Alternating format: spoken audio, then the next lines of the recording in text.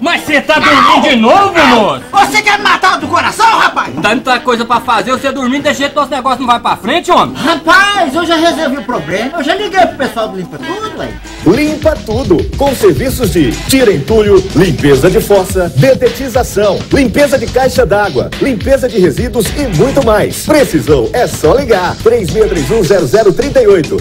Rapaz, com Limpa Tudo é só tranquilidade.